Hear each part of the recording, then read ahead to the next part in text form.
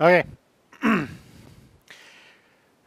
um, before I start, essentially, you, you should be starting in on Lab 3, which was basically last week's lecture content.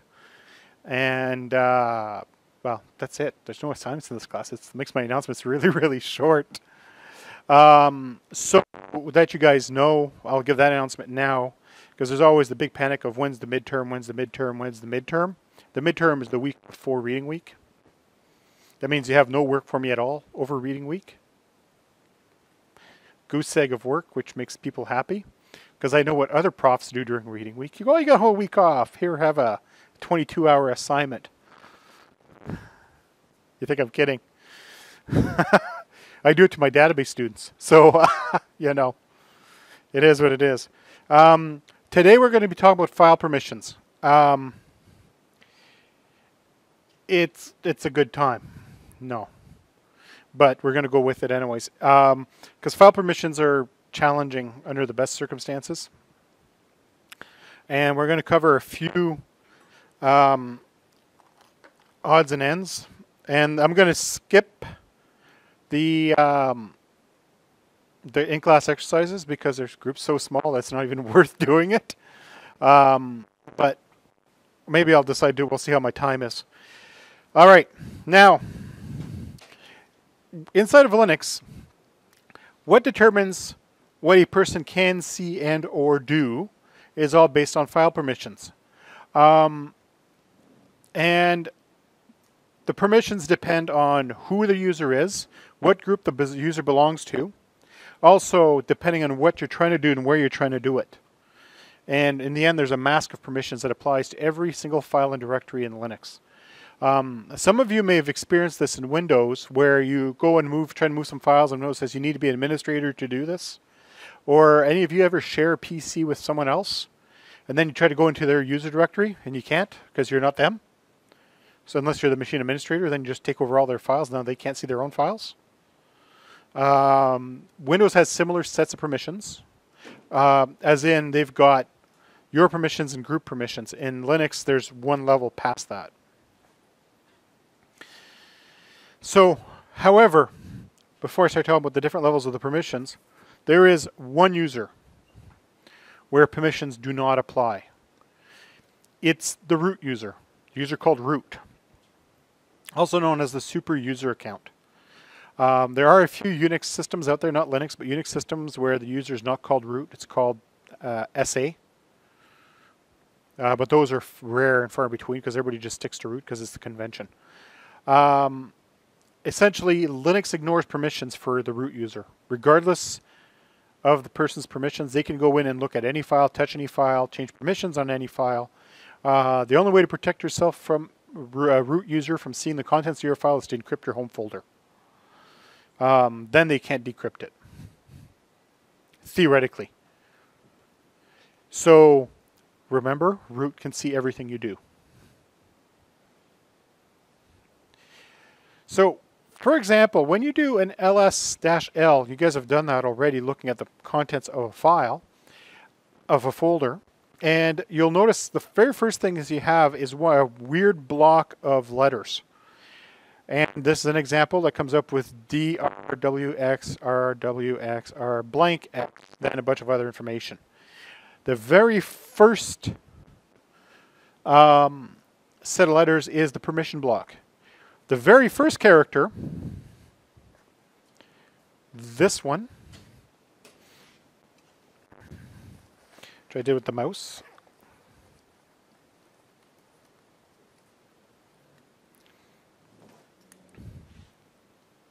That one, my cool purple laser pointer,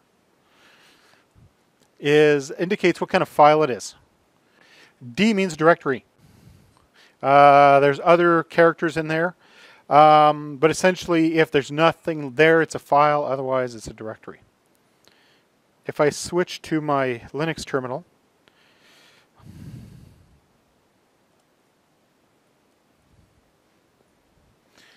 you can see that there's a bunch of directories and a few that don't have the D.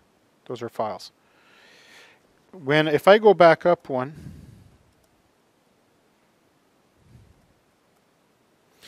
The other one you'll see here is an L link because it's a file. It's a symbolic link. It points from.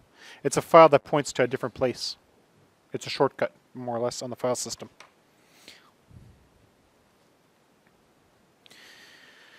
So the other things you'll see in there is the rights. These are rights are also known as your permissions. These are the things you're allowed to do.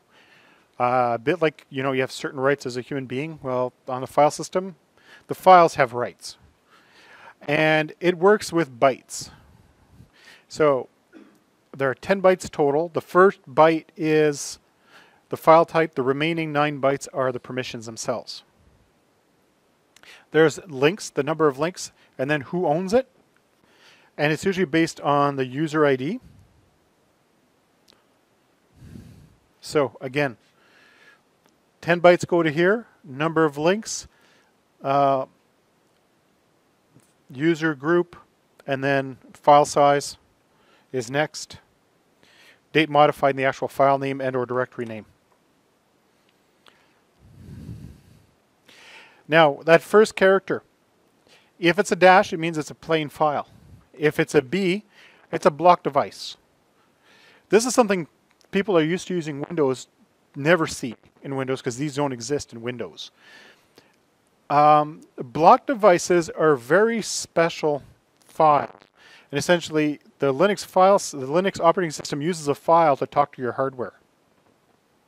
So there once was a time if you wanted to send something to a printer, you could cat the contents of a file and redirect into you know, a block device. So you could send it to serial port one and stuff would come out of the printer. It's kind of nifty. Um, or if you wanted to transmit files down a modem, you could send signal down the serial port and send data down the serial port that way. It was interesting. Not very useful because it wasn't modulated, but you know, you could. Um, there's a character device type, D is for directory, L is a symbolic link, and P is a named pipe. A named pipe is literally a file that pipes data into a program. So you've got an application running. We're not even going to get into pipes in this on this course, but essentially, it's theoretically possible to create a file on the file system that every time you uh, append to the file, as in you redirect output to that file, that output actually gets sent to a memory block that the, an, an application can actually view. So imagine if in Windows you had a directory, and every time you dropped a file in a directory, it would load in Photoshop. Instead of dropping it into Photoshop, you actually dropped it into that directory, and Photoshop would open it automatically. It's kind of cool. But instead of being a directory, it's a file. So you take a file, drop it in another file, poof, Photoshop. Um, I'm simplifying, but that's essentially what it is. All right, so after you've spent off your first bit you mean your first, yeah, your first bit identifying the type of file. There are now set three octets. That's another three bytes of information, each for permissions for the user, the group, and other. And other is basically the world. We used to refer it as world, but they've changed it to other. And essentially, the user owner has certain permissions, the group has certain permissions, and the first nine is usually what's used. There is actually more than that. Um, nine covers it. There's uh, 12 bits total. The 12, the the other bits do weird stuff. The permissions and rights allow for control access to files and directory or its content, whether or not they're allowed to be run. Every single time you try to touch the file, the system double checks to see if you're allowed to do it. So it's pretty great that way, actually, because it makes sure. Uh, there once was a time where Windows didn't check permissions at all. You went in, you did whatever you wanted to do, and hey, you're logged in. You're allowed to modify anybody's files anywhere. Permissions didn't exist. The more recent versions of Windows are significantly more, you know, retentive about permissions. They've had to get that way. So this is a screenshot. My name is not Hubert but you know, and this has a complete set of permissions. And what's on here is the very first byte to illustrate is the file type. The next one is the user owner permissions. This is the group permissions. That's the other permissions. And the next one is number of links to that file. the owner, and the group. So whenever you're looking at a file and you want to know all the important permissions and stuff, those are the sets you need to look at. Often if you try to read a file or write a file and you can't, that's probably because you don't have permissions to do it and you have to check the permissions. Or you're just logging as root, then you don't have that problem. So there's three access permissions that exist. And read, write, and execute are the three. Read means you can actually look at the contents of the file. You can open it up with a text editor, you can cat it, you can run less on it. If it's a directory, that means you can run ls. So if you have read permissions on a folder, you can go ls and actually see what's in it. If you don't have read permissions, theoretically, you might have permission to go in there, but then you're blind. You can't see anything that's in there. ls will return an error or return nothing depending on how the system's configured. Write is obvious. it means you're actually allowed to change the file content. Therefore, you were able to read the file, you made some changes, then you can write the file, also known as saving. And with a directory, that means you can add and remove files and directories. So when you're dealing with permissions in a directory, the write permission means you're allowed to create a new file. You're also allowed to delete a file. You can create a new directory, a subdirectory, or you can remove the subdirectory. Execute. If it's a file, that means you can run it like a program. Yay. Um, way back in the day, when we used to actually have to download applications manually for Linux, and the files would come down and none of them would have the execute bytes turned on, unless it was a specific kind of archive that they supplied for you.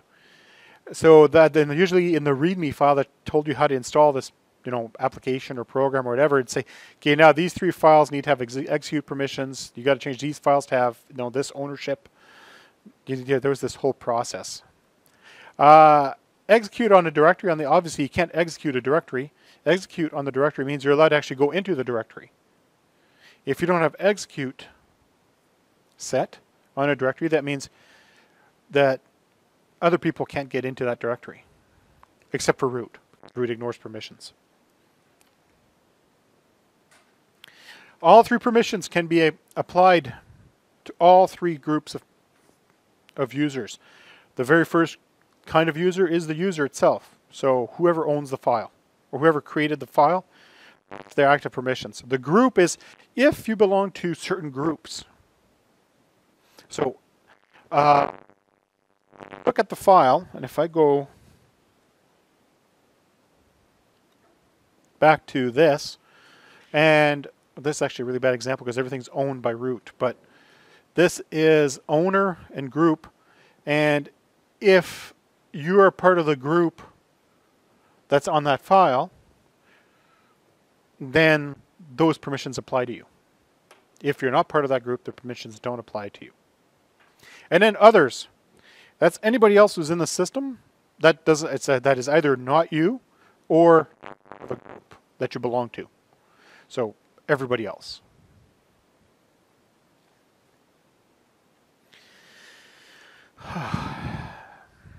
Now, did you guys learn how to do octal math and computer essentials? Yeah, we're back to that. Except the good news is you never only only deal with one set of values. One byte, 0 to 7. So octal math is, you know, 0 to 7 and that's one byte. Wow, magic. Um, and essentially the way the permissions work is there's a series of octal values that determine what you're allowed to do. Um, when you look at the file system, it gives you a stupid letter. That those actually three letters, read, write, the RWX, basically amounts to one set of permissions.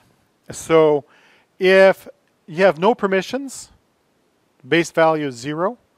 And then going up is 1, 2, 3, 4 through 7. 7 means you're allowed to do absolutely everything. Read, write, and execute. So a common way of fixing problems, and this is not the right way of fixing problems on Linux, is to change permissions to 777 for everyone. Anybody can run and execute. It's a stupid idea. Uh, that means that even unprivileged users can go in. Modify stuff. Usually the only folders that should be like that is the temp folders.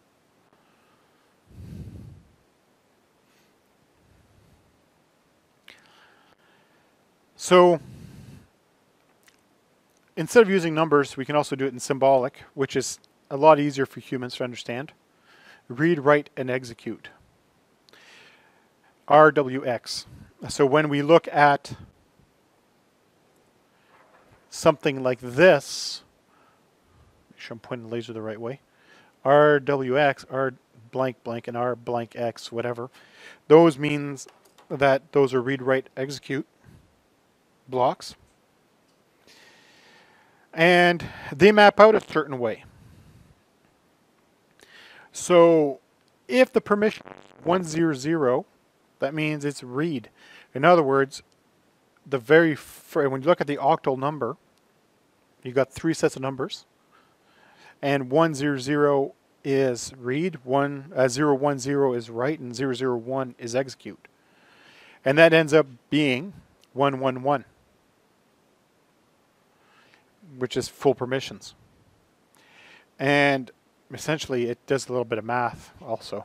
2 to the power 2 is 4. Which, you know, if you're doing counting in, um, you know, 1, 2, 3, here comes 4, 5, 6, 7, right? There's your three bits. It's amazing how high you can count on one hand. Um, but essentially those are your bits and that'll do the math. So theoretically you could actually use your fingers to figure out your permissions, right? And uh, don't flick out too many, don't flick too many people. Because you know this is read permission. That's going to go on YouTube with me flicking the bird at my students. So, actually, I already hit the class exercises. The this is symbolic mode. This is equivalent to what?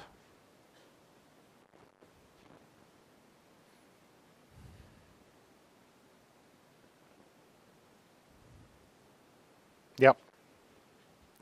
All three. So that means you have, it's basically uh, 777. Read, write, execute. Or 666, depending if it's a file or directory. Because a file would be 666, directory 777. Uh, the user itself has what permissions? Which which set of obviously if everything is read write execute, that means the user has read write execute. Um, if you have read write execute read blank x read blank blank is equivalent to what octal mode?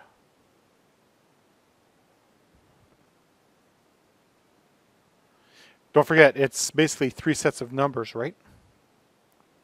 So each each letter it's three things. So the group permission has this combination, one on each side. So if we go back to our little chart, one on each side is five. Right here. So the group has permissions to read and execute, but they can't write.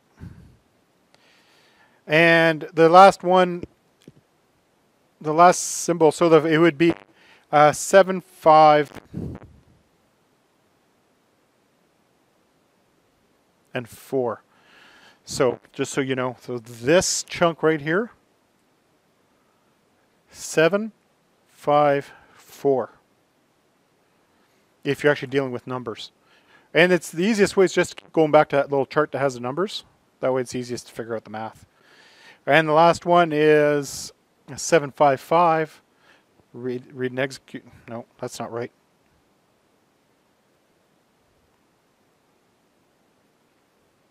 Yeah, that's right. 755. Everybody else has the permission of 5, which is read and execute.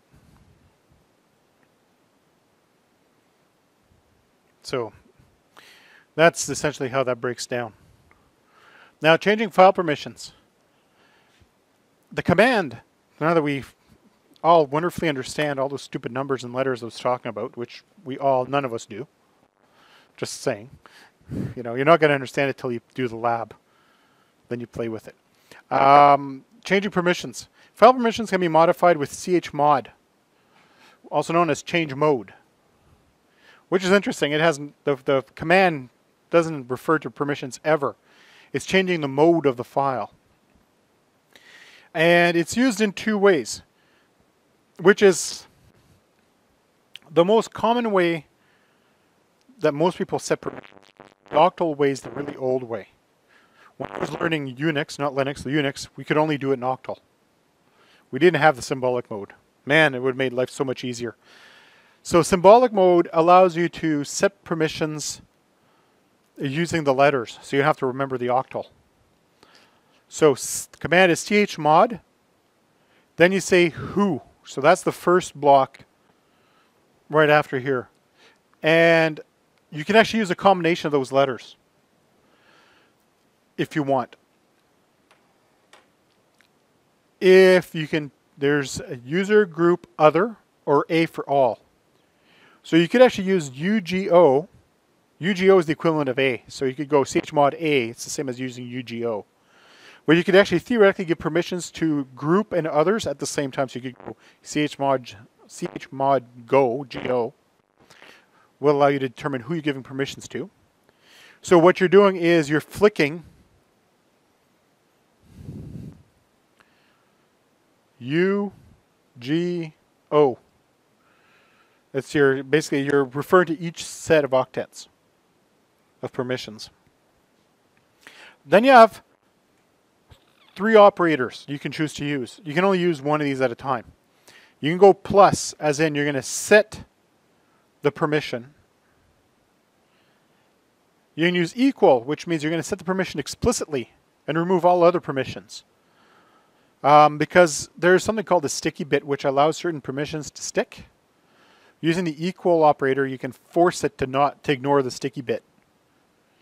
So, for example, there's uh, something called the sticky bit you can set on the directory, and any files that get created in that directory will have certain permissions stuck to them at all times.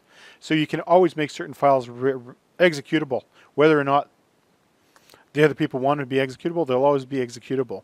The equal sign skips the, the sticky bit. And then you got negative, where you can remove a permission. So you could go chmod uh, minus r, which would mean group and others can no longer read these files. The command will look, I'll, there'll be an example in a second. Um, you can also use the absolute mode instead of using the octets. And you have to give three sets of numbers every single time. And you got to give the user rule, the user number, the group, and the others.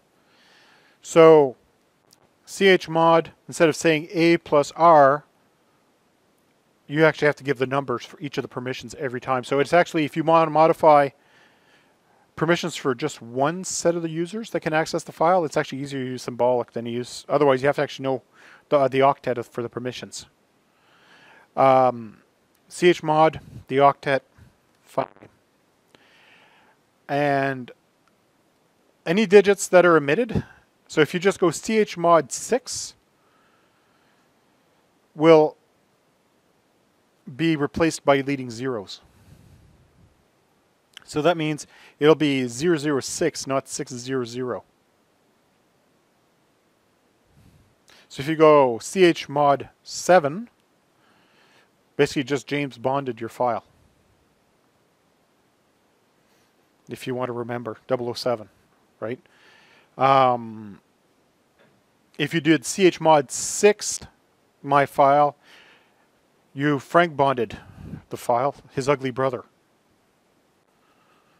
On and on and on.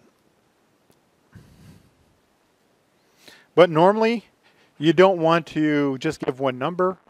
Why? because you're assuming the other permissions automatically and it's not a good thing.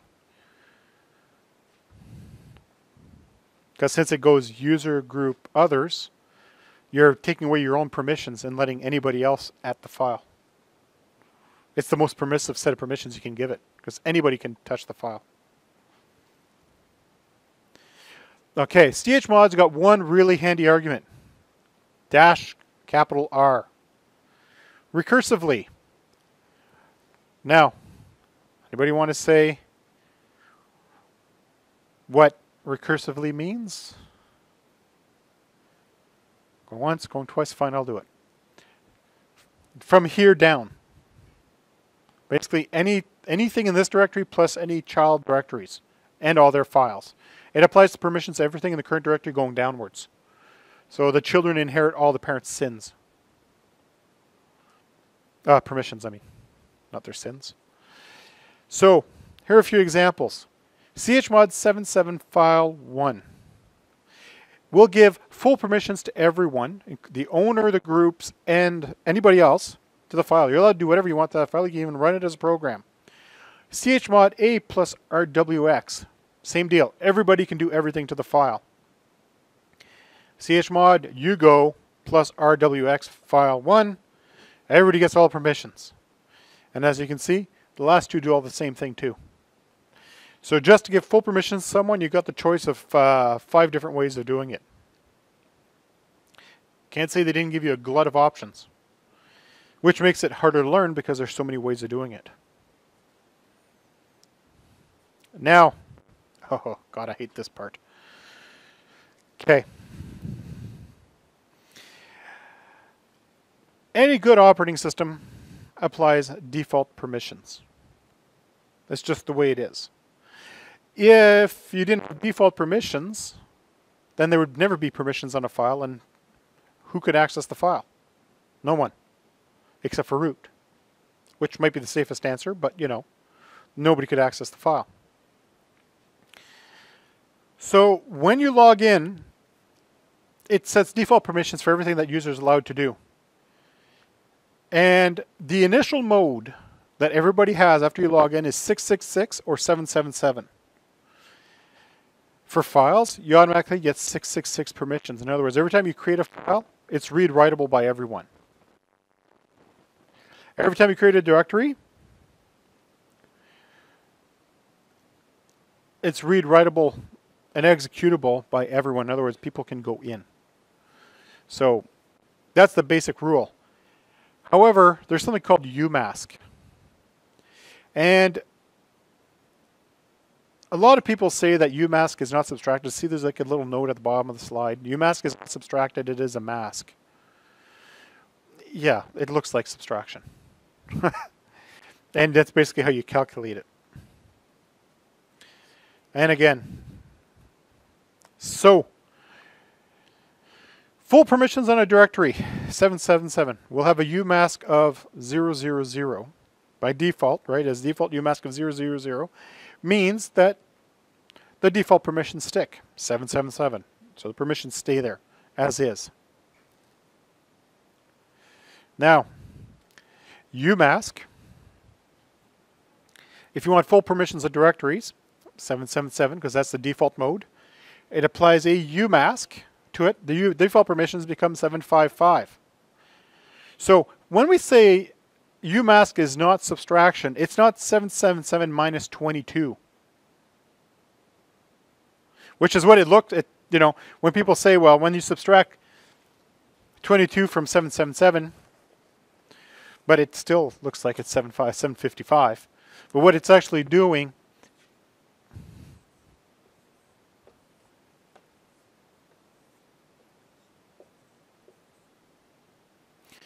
it's you're doing the you're doing the subtraction on only one column at a time. So you're not subtracting just one number from there. Is each piece of the UMask is applied to just their set of the permission.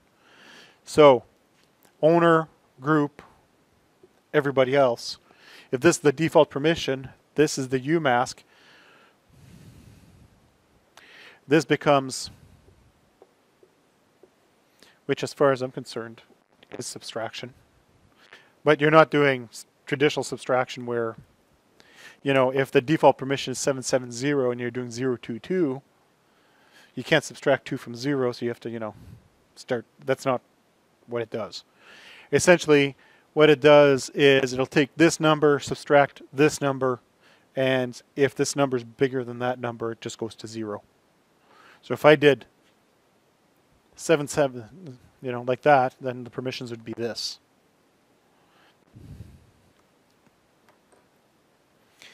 And for a file, since file full permissions on files is seven uh, six six six,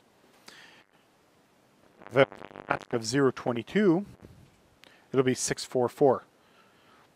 Now I'm going to post um, a link at the end of the lecture. Hopefully, I remember to do it. And did I lose my page? I have a chart, which you can't see, but I'll post it at the end of the lecture. That essentially shows what this basic file permissions are and what the UMask is and what the ending permissions would be. So if ever you give it a UMask, it gives you the matching number. So it's actually really handy because it basically has every combination of every UMask with their effective permissions in there. It's a quick lookup chart. And actually, I just did part of this. Is if you had 777, the UMask is 777, then the permissions are zero. No permissions allowed. So what happens is, it starts out with full permissions. It applies your personal UMask to it, and then that's the effective permissions. Now, root by default has a UMask of 000. Just so you know. Now, to modify your UMask setting, you can display your settings by typing in UMask. Actually, I'm wrong. Root doesn't use, it'll use 0022. Ignore the first zero. So the default UMask for everyone on Linux is 22. Well, 022. And then you can change it by setting a set of rules, which is umask to 044. That means instead of being 2, 2, it'll be 4, 4. It'll take 4 away from the 7, making, you know, the effective permission 3. It's just how it is. Um, or you could use symbolic notation if you wanted to. Uh, umask u plus w. That means that the user is allowed to write all the time to the file. A equals RW, that means everybody can read write to the file and user group read write others write. That's the basic UMask. So if I did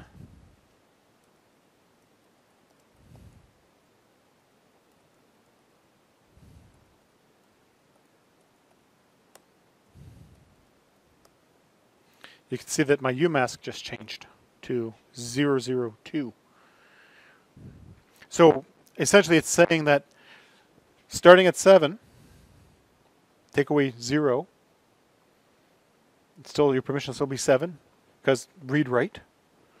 Take 7, take away 0, still say it's 0, because we gave it read write permissions. Others have read. Therefore, if 7 and or 6 is read write, take away 2, it'll put it only in um, read only mode, but no write. This syntax is easier to understand than the, the numeric one. Okay. Now, to create default file mode of read write read read, what combination of UMask would you want? Anybody want to take a guess?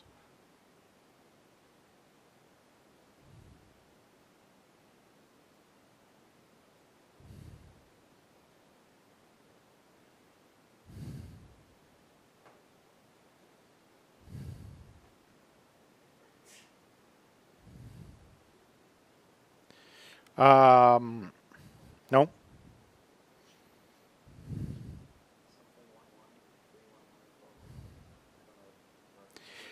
Uh, well, the first one would be zero.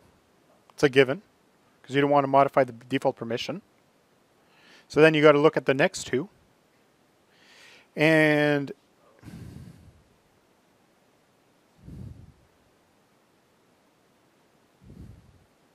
yes. So essentially, when you take one, the first one off of it, it's going to remove the execute byte. So RW minus 1 removes execute. Then you do read only and read only. So that means you need to subtract 3 from it. because one is execute, two is uh, write, so one plus two is three, which leaves you read, which is four or five, depending if it's a directory. If we want to do read, write, read, write all the way across the board, what permission set do we need? What do UMask? Uh, ignore the first zero, just the three, one, one, one. And if we want a default file mode of no permissions at all, 777. Now, if we had a new file, which starts out with 666, right, which is read, write, read, write, read, write, with a UMask of 22, what permissions would we have the effective permissions be? I'll take the numeric one if you want.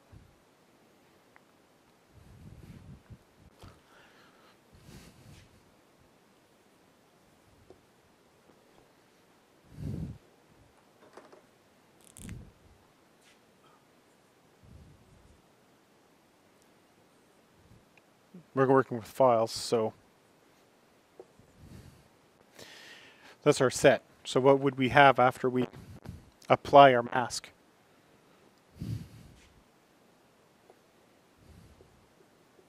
Six four four, which would be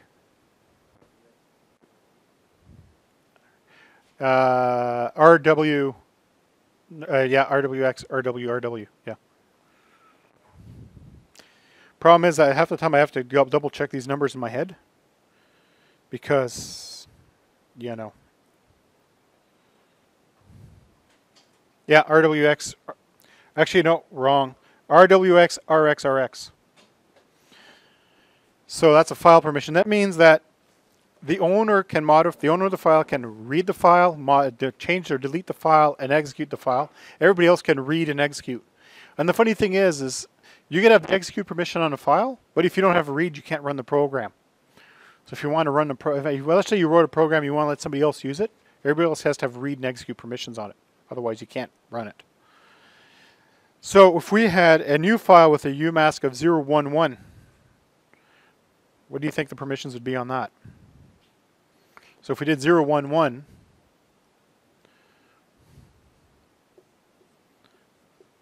That's our effective permissions. So now we know that 6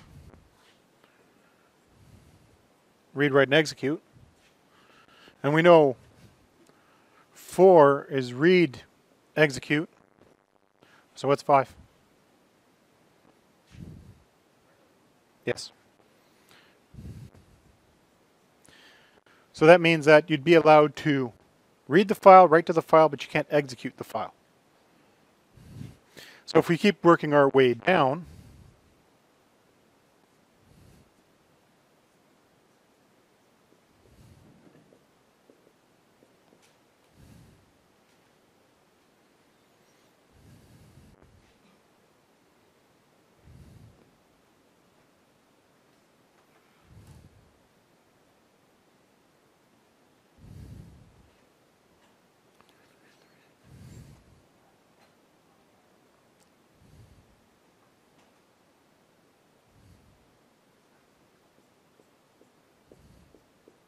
There we go. There's our happy little chart. I'm actually going to post charts to this after I'm done the class, before the lab, because I have these on my phone, not on my laptop. So I'll, I just got to copy the URLs across.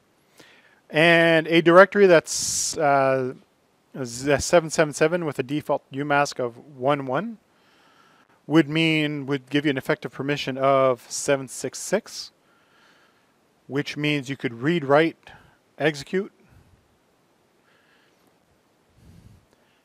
And on the directory, it would be um,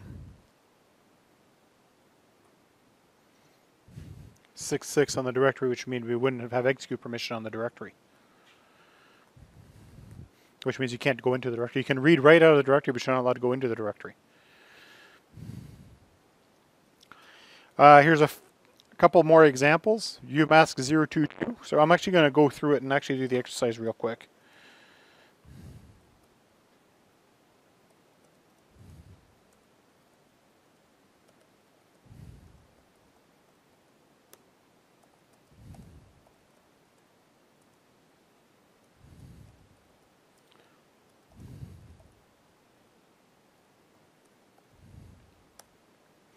All right, so 022 gave me read, write, read, and read. And if I change the file,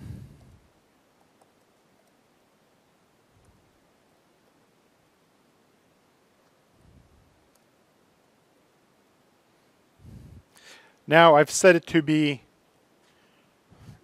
read write because that's six. No execute. And then you'd have read only, which is five, and write only, which is two.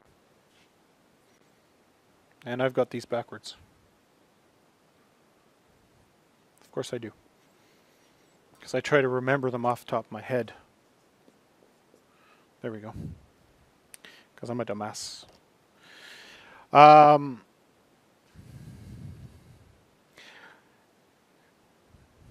oh, that's a long one. chmod u plus x.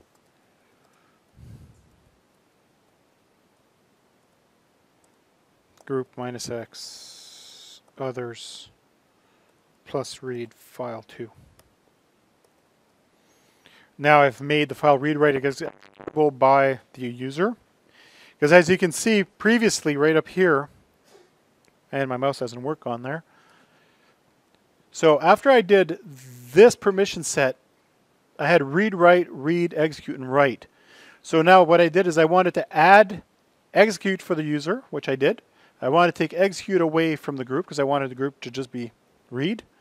And others were allowed to um, read the file. So read, write, execute, read, and read, write. Because when we first set it up, the, the world was allowed to write to the file.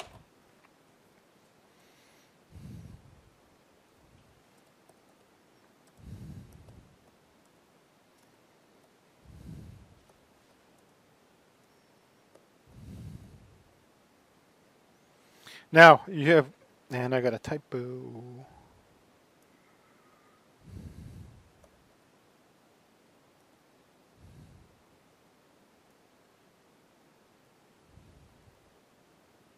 There we go.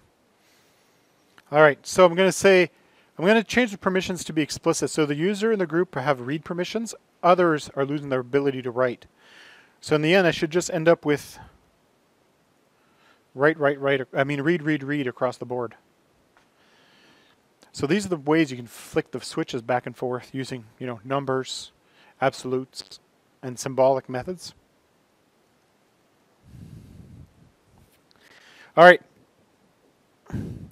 Now to deal with the rest of it. And this is the easy side compared to the numbers because the numbers suck. And like I said, I'm going to post a couple of different utilities you can use to figure out your UMasks and your permissions. Uh, I actually got a UMask calculator that says, you know, assuming you're using 6.6, your default permissions are 666, and you want to give these default permissions, it actually gives you the UMask, so you can figure that one out. Um, and then once you play with it a little bit, it'll make more sense to figure out your bits and pieces. Now, if, on the other hand, you want to change the owner of the file. So one of the quirks with Linux is, let's say you're logged in as root, and you create a new directory, and for those of you that have run any kind of server on Linux, whether you're dealing with a web server or a Minecraft server or whatever the hell else you're running, but you're running some kind of server, and you're running, you're doing all the work as root. The problem is that the, everything you create owns, belongs to root, and with a web server, that can get a little iffy because if it's owned by root and the permissions aren't right, the web server itself can't read and write the files inside its web root. Um, what I'm saying now sounds like total gobbledygook, but when you go take your web development class, it'll all come home to roost. Um, so what you end up doing is you want to change the owner of the file. So you want to play with the ownership of the file. And the command to change the ownership of the file is chown, ch own. In other words, change owner. And it's fairly straightforward. You chown, give it who the owner is, and then the file name. As again, we also have the dash capital R, which means recursive. Change permissions from here going down.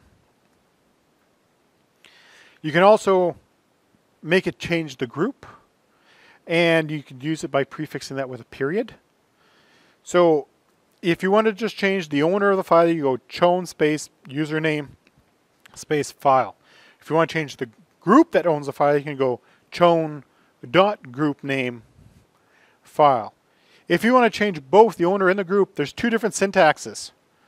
You can either go chown owner dot group file name, or you can do the old syntax, which is the one I learned back in the day, which is chown owner colon group file name. Now,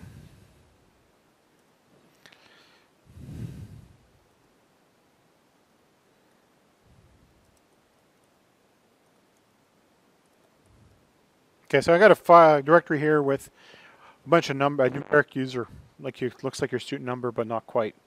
Let's say I want to take one of these directories and make it belong to root instead. I could go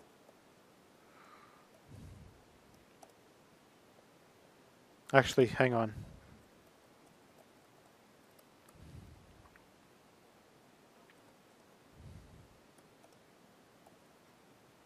Oh, here's my file one, which are with the default permissions.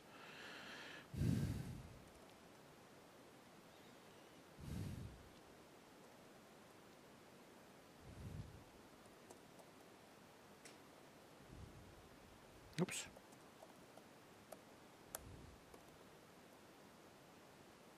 Okay, so I would make sure my UMask was set to default before I messed around anymore. Okay, so I got a file called file1. I could go chown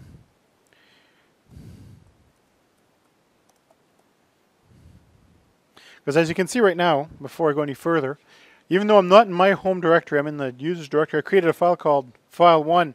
It's owned by root and also belongs to the root group, the group called root.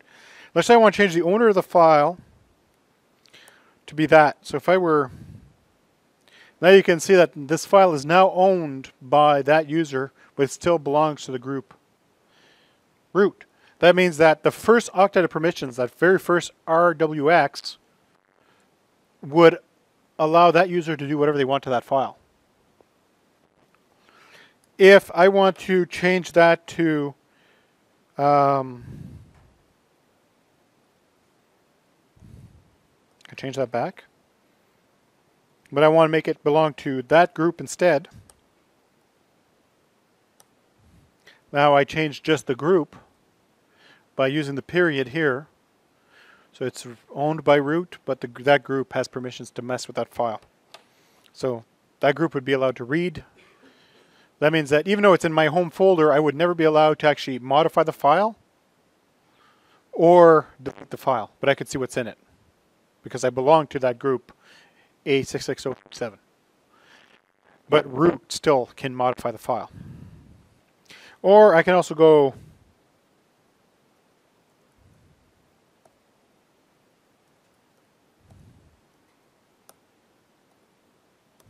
and now it's owned by the group and the user that based on that, that number.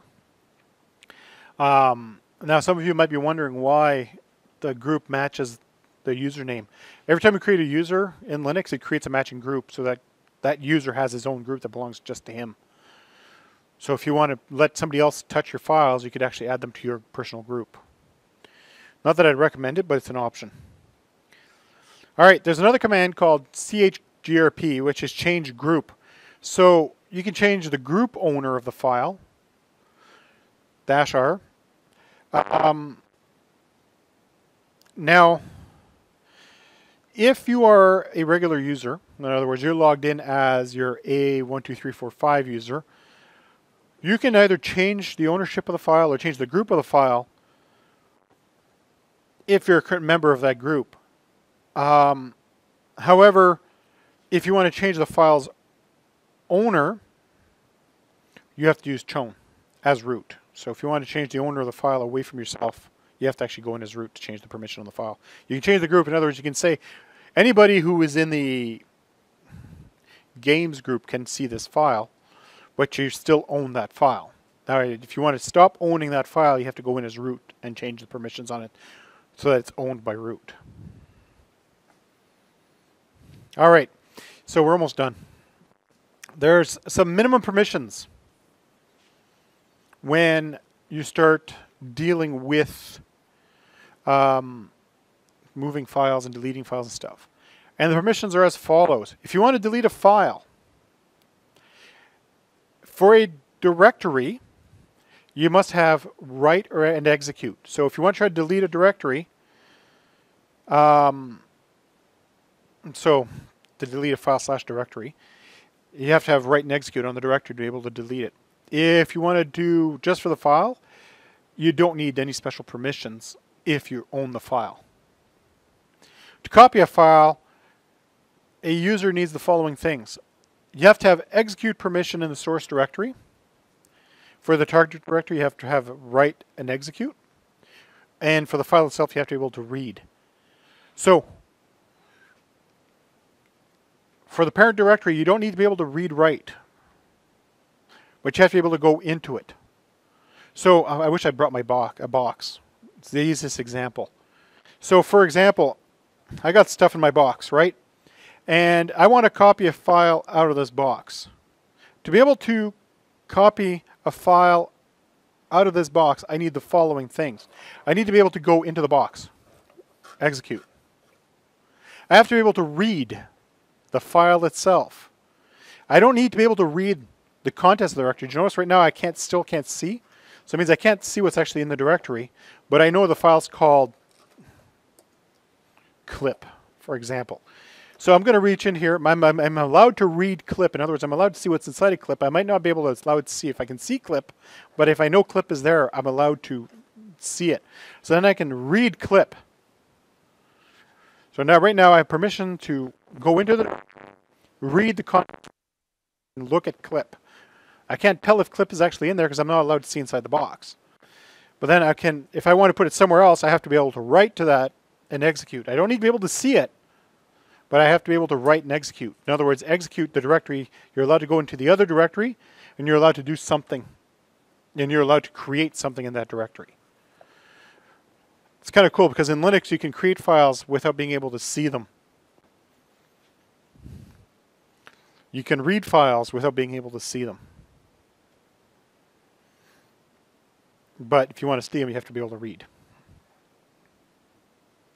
And to move a file, you have the minimum permissions are you need write and execute, both for the directory and uh, for both the source and the target directory, so they have the same permissions. The file doesn't need any special basic permissions. So as long as you can write and execute, you can move a file. All right, that's the end of that. This is like the worst info dump lecture ever. Actually, no, it's not. The database course is. Um, so essentially, the stuff you need for Lab 4, uh, I will be posting my, my, my couple of URLs to Brightspace so that you have a couple basic tools to help you with the UMasks and stuff. Uh, but essentially, it's remembering user, group, and world, and whether or not they're allowed to read, write, and execute, and remembering the magic number that matches the, the, the applicable permission set that goes, you know, up the side. And that's it. Okie dokie. So.